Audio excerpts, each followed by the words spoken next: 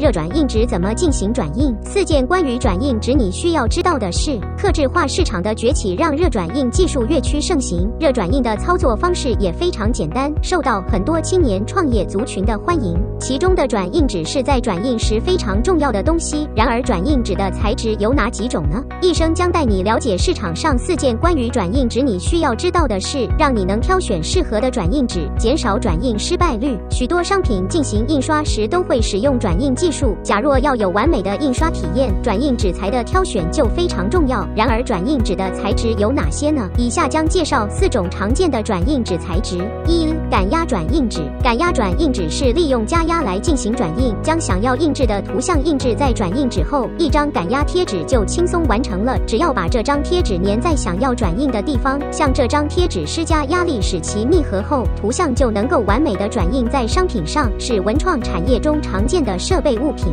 二、深色转印纸。深色转印纸主要用于深色衣物，是一张类似胶膜的白底贴纸，用于各类耐热布料。由于深色转印纸有白底，透过该转印纸转印的图案会更加显色，提供你转印 T-shirt、帽子类等布料织品的最佳选择。三、浅色转印纸。浅色转印纸如同透明转印胶一样，应用原理是将彩色墨水吸附在透明胶内，再转印到浅色的布料上。浅色转印纸因其材质特性，会在表面产生亮面印刷效果。浅色转印纸常用于白色棉麻类的布料织品上。四、热升华转印纸。热升华转印纸需搭配专用的热升华墨水一同使用。热升华的应用范围非常广泛，尤其适合转印在白色物体上。透过转印纸转印的图像颜色鲜明、细节精致。热升华是透过气态与固态转换达成转印目的，常应用在浅色的聚酯纤维上。热转印技术也能够用来制作陶瓷盘、拼图等商品。三种不同转印方式所搭配的转印纸质。一、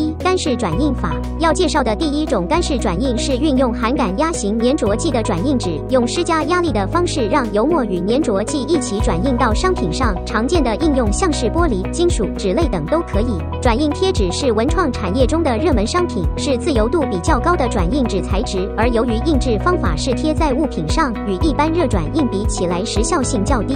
二、热转印法。热转印的技术原理是先将图案印在热转印纸上，经过热转印设备加热到一定温度后，转印纸上的图案就能直接转印到商品上。热转印纸的应用材质非常广泛，适用于各种刻制化商品印刷，使用在浅色或白色商品上的效果尤佳。三、水转印法。水转印贴纸跟纹身贴纸是相同的概念，将转印贴纸沾水待转化后，再撕其表层的胶膜并粘贴于物体上，待表面干燥后即转印完成。